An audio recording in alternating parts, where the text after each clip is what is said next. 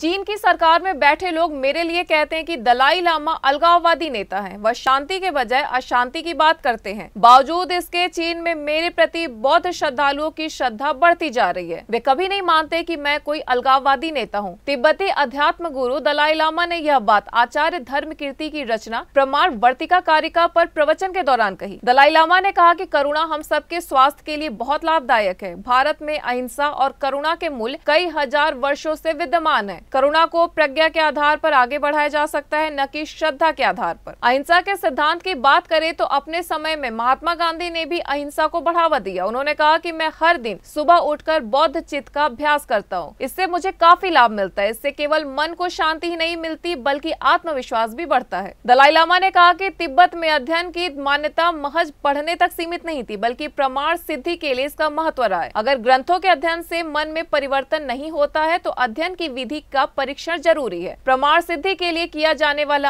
अध्ययन आंखें खोलने जैसा है न्यूज डेस्क एन लाइव